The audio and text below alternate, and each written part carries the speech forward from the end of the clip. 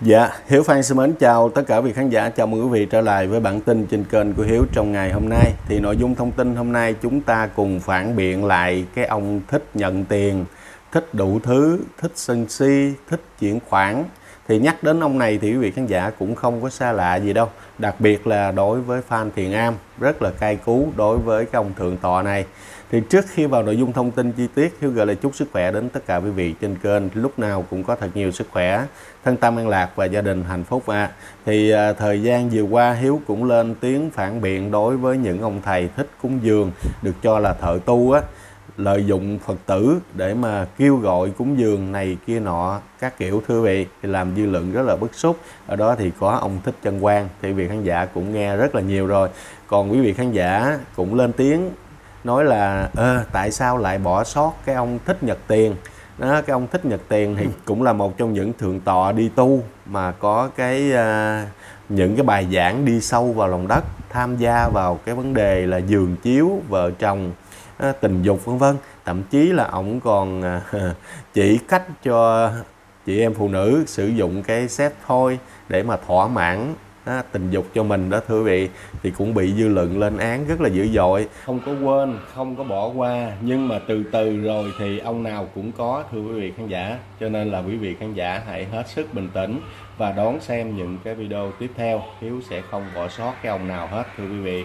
Và hôm nay thì có một bác sĩ đã thay mặt tất cả mọi người để mà à, phản biện lại cái ông này. À, với những lời rất là hay thấu tình đạt lý luôn trước tiên thì chúng ta nghe cái ông ờ, thích nhận tiền, thích sân si này. Ổng ờ, chia sẻ trước, giảng trước. Và sau đó thì chúng ta sẽ nghe vị bác sĩ phản biện lại ổng nhé, thưa vị khán giả. Và trong nhân quả, nếu các bạn sử dụng các dụng cụ để hỗ trợ cho cái thỏa mãn tính dục của mình, cũng không có tội gì hết. Đức phật cũng không sẽ nói là cái tội. Đức phật chỉ nói đến những cái tác hại thôi. Nếu các bạn biết nó là một thói quen, thì các bạn sẽ khó hạnh phúc được với người chồng thật hay là vợ thật của mình. Vì các dụng cụ đó tăng cường cái mức đê mê và thỏa mãn và cái nghiện nhiều hơn là đối với vợ chồng thật. Như vậy, khi mà các bạn sau một thời gian chồng đi làm sao về hoặc là vợ đi làm sao về là vợ qua khỏi cái thời gian bị bầu bí, thì các bạn sẽ không còn áp phê nữa. Và lúc đó các bạn sẽ bị nhàm chán đối với người vợ người chồng đó. Đó là những hậu quả thì vấn đề thỏa mãn tính dục, đó là là bằng các cái dụng cụ hỗ trợ. Còn đối với những người chọn con đường sống xương cầu băng hay xương cầu đét thì cái phương tiện hỗ trợ này là cần thiết. Tại vì họ không có nhu cầu để lấy chồng với bạn nữa thì họ được quyền thỏa mãn đó, nó không có tội lỗi gì hết, về nhân quả. Nè, thích nhật từ này nè. Cái chuyện á, mà dùng dụng cụ tình dục, nó không phải là đến lượt của ông. Ông là một cái ông thầy chùa, chứ được chưa được gọi là thầy tu. Nhưng mà tất cả những video của ông không mang một cái giá trị về vấn đề tu tập, về vấn đề Phật giáo, về vấn đề giáo lý bên đạo Phật. Ông lên đây, ông nói những cái chuyện mà nào là tần suất quan hệ tình dục ông giảng những cái chuyện nào là cách sử dụng dụng cụ, tình dục. Công việc đó của ông hay sao? Tôi yêu cầu những ông, những bà trên giáo hội Phật giáo Việt Nam phải xem xét. Và cái hình thức xem xét không phải là hình thức để nhắc nhở, là để khiển trách, để cảnh cáo. Và đồng thời, nhờ các cơ quan chức năng, bộ văn hóa thông tin, truyền thông, và kể cả những cái cơ quan an ninh mạng, kể cả những cái cơ quan điều tra, xét hỏi của bộ công an, vào cuộc xem ông này đã làm đúng chức năng của một nhà tu hay là đang tuyên truyền những văn hóa phẩm đồ trị bởi vì công việc của ông không phải là công việc đang truyền giảng những cái vấn đề này. Ngay cả bác sĩ cũng không phải bác sĩ nào cũng nói về những cái vấn đề, về vấn đề tình dục, về vấn đề quan hệ sinh lý. Nhưng mà ông đã mượn cái nơi mà tôn nghiêm, mượn cái nơi mà để phật tử đi đến nghe ông thuyết pháp. Nhưng mà thật sự nghe toàn là những cái chuyện tình ái, quan hệ tình dục, sử dụng dụng cụ tình dục. Việc ông nói đúng hay sai chưa cần phân tích, chưa cần biết. Nhưng việc mà ông đã lên đây, ông nói cái vấn đề quan hệ tình dục đã là một video. Bây giờ ông nói về vấn đề sử dụng dụng cụ tình dục. Đó, ông phân tích rất sâu, rất chi tiết, rất cặn kẽ. Việc đó đâu có phải là cái việc đến lượt ông. Đúng không? Việc của ông là gì? Việc của ông là cái việc phải nghiên cứu, phải học hành về những cái giáo lý đạo Phật để truyền tải cái thông điệp đó đến những người mà theo đạo Phật. Đúng không? Nhưng mà ông đã làm không đúng chức năng. Đó.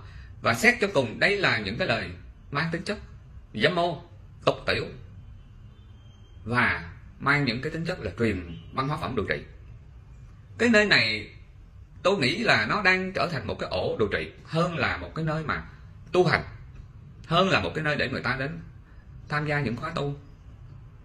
Ông quá trời quá đất rồi. Mượn đạo tạo đời. Mượn đạo để phủ lên trên mình một cái áo cà sa để từ đó à, để mà kêu bá tánh cúng dường chuyển khoản. Thậm chí có video ông còn kêu người ta chuyển khoản cúng dường bằng thức chuyển khoản. Ông không khuyến khích người ta và ông không mong muốn và ông không thích người ta tới chùa đốt cây nhang. Lại phật chứ phải là ông đâu nha ông nội. Nhưng ông kêu người ta bây giờ thời buổi hiện đại rồi khói nhang làm độc hại. Và như vậy cứ chuyển khoản đi có ban thư ký học chuyển thẳng vô tài khoản của ông. Những cái tiền đó ông nuốt trọng không? Ông và những sàm tăng khác những ma tăng khác đang trở thành đang ngày càng trở nên biến tướng. À, và coi cái việc tu hành là một cái nghề để kinh doanh để trục lợi để nói những chuyện sàm xí nói những cái chuyện mà vớ vẩn. Chắc ông rất có nhiều kinh nghiệm trong vấn đề tình dục. Phải không? Và ông có thể thay cái bộ áo cà sa đó ra đội cái nón lên à, ngụy trang đó để đi đến những cái chỗ những nơi nào đó. Người ta nói lòng đầy thì miệng nói ra ông á, chắc chắn là suy nghĩ rất nhiều về vấn đề tình dục. Nên lúc nào trong cái chủ đề ông nói ra cũng là liên quan đến vấn đề tình dục. À, việc hôm nay nó quá lộ liễu. Ông á, có kinh nghiệm sử dụng dụng cụ tình dục nè ông có kinh nghiệm trong quan hệ tình dục nè. Và những cái điều đó ông đưa ra chắc chắn à, là ông mỹ mãn ông cho rằng ông có kinh nghiệm.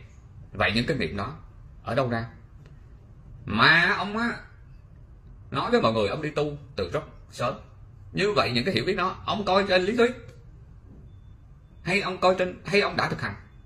Mà cho dù ông nói về phương diện lý thuyết cũng không đúng. Không đúng. Với cương vị là một, ông thiệt chùa. Thiệt chùa không có nói chuyện đó thầy chùa nói về cái vấn đề giáo lý, tôn giáo, phẩm hạnh, đức hạnh.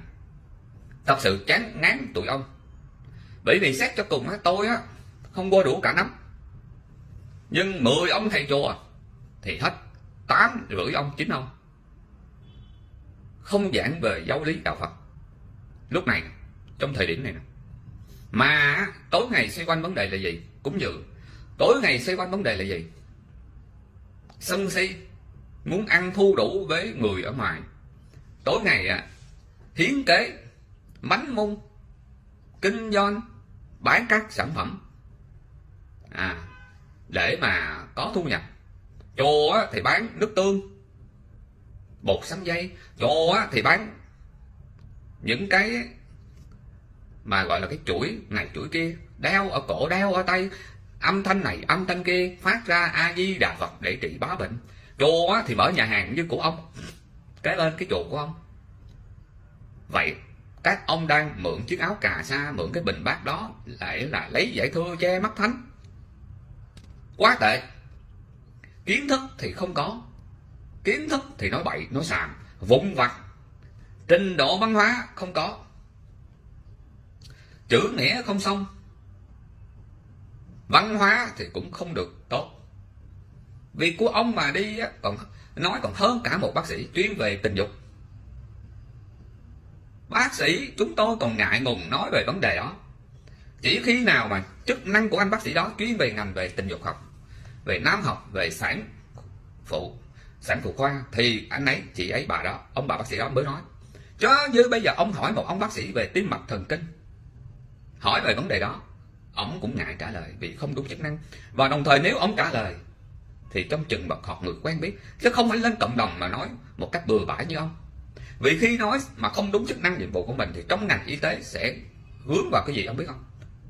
Hả? Bị phạt, bị à chế tài vì gì? Nói vượt cái giới hạn, cái quy định ngành nghề. Chứ không như đó ngay cả trong bác sĩ mà nói không đúng cái việc của mình cũng đã bị vi phạm vì đi quá cái quy định về nghề nghiệp. Đúng không? Bây giờ ông hỏi lại phật tử của ông những người đang ngồi nghe ông thuyết giảng họ có tâm phục khẩu phục hay không? Tôi tin chắc bởi vì đó họ không phải tin ông nhưng mà họ tin ông trong đạo phật. Cái thiện lành nhưng mà à, họ đến chùa là vì cái đấy nhưng mà đã bị ông à, đem những cái chuyện quấy rối tình dục đấy gọi là quấy rối tình dục quấy nhiễu và khiêu gợi khiêu dục kích thích tình dục ông hãy xem xét lại nhân cách và đạo đức của ông có đúng tư cách của một giáo sĩ hay không đề nghị giáo hội phật giáo việt nam loại ngay ông này ra khỏi hàng ngũ giáo sĩ vì quá bất tài vô dụng và mất văn hóa mất đạo đức vô đạo đức mất nết đó, quý vị khán giả thân mến, quý vị cũng vừa nghe một bác sĩ lên phản biện đối với cái ông thầy à, Thích Sinh Si. Thì vị khán giả nhận định như thế nào? Quý vị khán giả cũng để lại bình luận góp ý dưới phần video của Hiếu nhé. Qua đây thì em cũng xin cảm ơn vị bác sĩ rất là nhiều, đã rất là mạnh mẽ để mà phản biện lại cái ông à, Thích Sinh Si này.